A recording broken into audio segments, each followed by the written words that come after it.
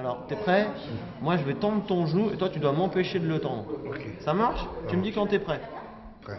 Vous êtes ici dans le service de rééducation de l'hôpital Percy. C'est le plus important service de rééducation des armées, avec euh, une capacité de 60 lits, 50 personnes dédiées à son activité, 12 corps de métiers différents. Ici, euh, sa priorité, c'est l'accueil et la prise en charge euh, des pathologies du militaire blessé en opération, c'est-à-dire pour ce qu'on appelle nous le blessé de guerre.